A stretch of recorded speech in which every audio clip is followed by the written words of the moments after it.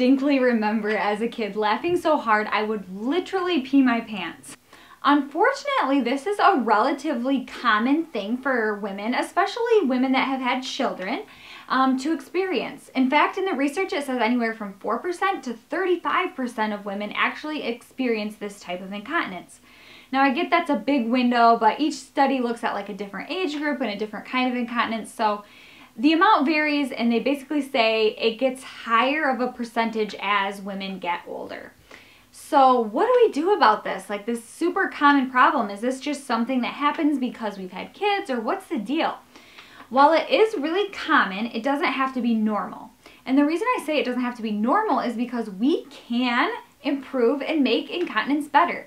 And the way that we do this is by getting to know our pelvic floor, strengthening our pelvic floor, and making sure it's going to work at times when we need it to work. So if you think about your um, your pelvic floor as the bottom of a pop can. So think about your whole torso as a pop can, if you will. The top is your diaphragm. This is where you open the can of pop. The front is your abdominal muscles, the back is your back muscles, and the bottom are your pelvic floor muscles. Let's say you shake that can of pop up. If any area of the can gets a puncture or you go to open the top, it is going to spray out that weak point. The same happens with our core or our you know, torso. When there is pressure, which there is when we laugh, if you laugh, you build pressure in your torso or our pop can, if you will, and it's going to let loose wherever the least, the, the weak spot is. So a lot of times after we have children, our pelvic floor is our weak spot. So this is why we pee a little when we laugh or even when we sneeze and cough and things like that. All these things that build up pressure in our torso or in our core. So what do we do about this problem? Well, you need to work on your pelvic floor muscle strength and coordination. So your pelvic floor muscles work in two different ways. You have muscles that work like your sprinters, so they are like fast and they, but they don't last very long.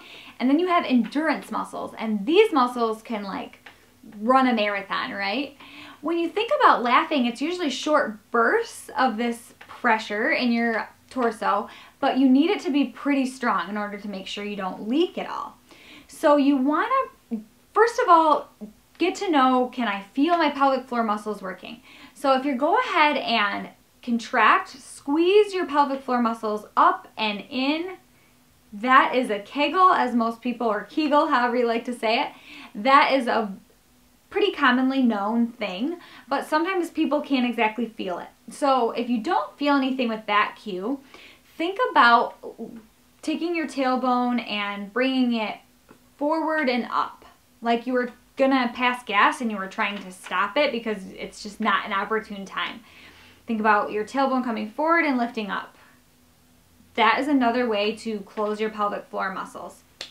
Another way that you can think about it is if you were peeing and you were trying to stop the flow of urine. I don't love this analogy because it really isn't a good idea to stop the flow of urine a lot, like when you're in the bathroom. So if you need to do this to recognize your pelvic floor muscles, that's fine. But don't make a habit of like stopping and starting your pee because it really creates bad habits that could lead to other um, incontinence issues uh, down the road. So now that you know like how to activate your pelvic floor muscles, you know that they're there, we're not exactly sure how strong they are. Like could they withhold this gush of pressure that happens when they laugh? Probably not. So you want to work on strengthening that. You want to work on squeezing that tight and pretty quickly because when you laugh, it, it happens quickly. So we call this practice like a quick flick. Uh, the other thing to note is after you squeeze, make sure that you are fully relaxing your pelvic floor muscles. Some people get in the tendency or have the habit of always keeping them a little bit closed. And this is like if you walked around with a weight in your hand. Even if it wasn't heavy, eventually your bicep would get tired and give out. And that's the moment when we laugh and then we can no longer stop urine from coming out when we don't want it to. So make sure you're fully relaxing between each squeeze. So now that you've practiced squeezing quickly, you want to practice it in different positions because we're not always laughing when we're sitting down. We're not always laughing standing up. We might be laying down, we might be sitting, we might be kneeling on the floor with our kids. Like we just don't know where we're going to be when we laugh and need to be able to not pee our pants, right? So practice this in different positions. The thing about practicing Kegels or pelvic floor strengthening is that you don't want to just sit and do 100 and then, oh, check that off my list today.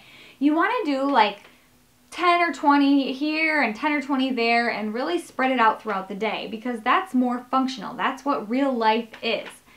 I always say when you feel like you're not really squeezing anymore or it's just a really weak kind of piddly squeeze, you should stop, wait a while, and try again later. The more you can spread out small groups of Kegels throughout the day, the better and more practical it is for you. The other thing that you can do is try to challenge your pelvic floor a little bit by adding those Kegels to functional activities. So let's say you're to squeeze and then you're to do a little baby hop. Or you're to squeeze and do a jumping jack. You're to squeeze and then squat down and pick something up off the floor. This is how we might actually use our muscles and it gets them used to practicing like firing quick and then letting go and doing it on command when we need it to. So this is the progression of how you want to get stronger. If this doesn't exactly answer your question, I have a course all about incontinence that you could check out. Um, this is something, like I said, a lot of moms deal with after having their babies, so I created an online course that gives you a lot more detail about it. Or you could contact me directly and we could do like a one-on-one -on -one consult where I could walk you through a step-by-step -step progression of how to make sure you can laugh and enjoy mom life without having to worry Am I to pee when I do this? Did I bring an extra pair of underwear? Do I have pads just in case? These are things I don't want moms to have to deal with because there's a pretty simple solution to it. So check out one of those two options if this video didn't answer all of your questions. And thanks so much for hanging with me till the end. I'd love to have you subscribe to my channel. If you like the video today, I put out videos every single week with tons of tips and tricks for moms just like you.